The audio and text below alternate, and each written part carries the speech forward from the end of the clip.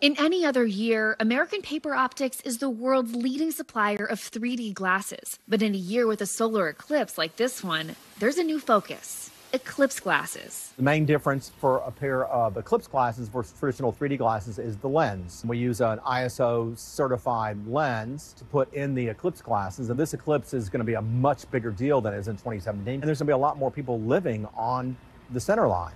In 2017, we sold about 45 million glasses. In 2024, we're going to sell about 75 million glasses. So nearly double. Yes. That's impressive. Thousands of orders come in daily. In hopes to avoid the mad dash for glasses like we saw in 2017, the team ramped up their production, nearly tripling their staff. I know so many businesses hire up for holiday season, and this is a very different type of holiday, it feels it like. this is a great holiday. This is what we would call like 30 Super Bowls.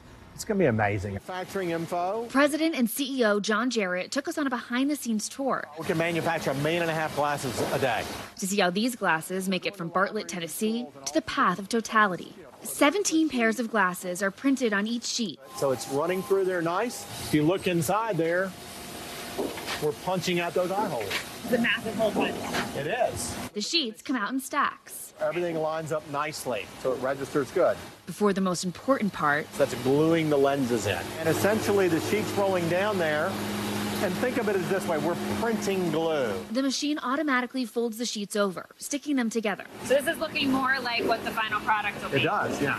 The process is a blend of automation and work done by hand. The final step, cutting out the actual glass's shape and prepping them to ship. They pull them out, rubber band them. It just pops right out. There okay. you go.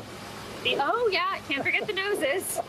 There we go. Perfect. They produce 50,000 glasses an hour before getting shipped off to major retailers like Walmart, Kroger, and Lowe's, or direct to consumer from online orders.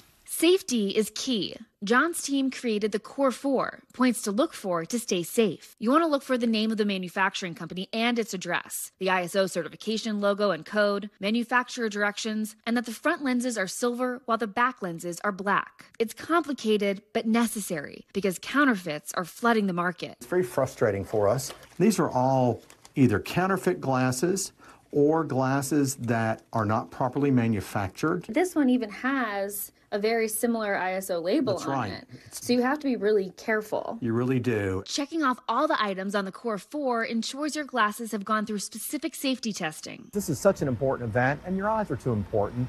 This is it for 20 years until 2044, the next big uh, U.S. total solar eclipse. For four and a half minutes of what John calls optical joy, optimum protection will last you a lifetime. Maura Barrett, NBC News, Bartlett, Tennessee. Thanks for watching. Stay updated about breaking news and top stories on the NBC News app or follow us on social media.